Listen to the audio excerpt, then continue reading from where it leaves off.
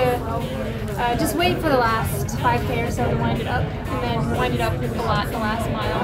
Um, and I was really glad to have a kick at the end. I was I was kind of uncomfortable fighting 75s. I don't know if it's humidity, but um, I definitely kind of felt that wear on me.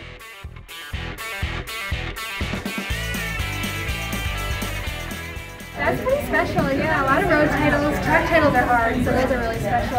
Um, I definitely don't take anything for granted, especially at this point in my career, so hope I have another one next year, but I'll just enjoy this one. This to me honestly felt more like a 5K because we like we were going tempo pace the first couple miles. So um, it was, it's great to make a US team, and I was really excited about that. Um, but coming back off the marathon was a little bit harder than I even anticipated, and I knew it wasn't going to be easy. So to come here and go one two with her is great. Like so I'm really happy about that.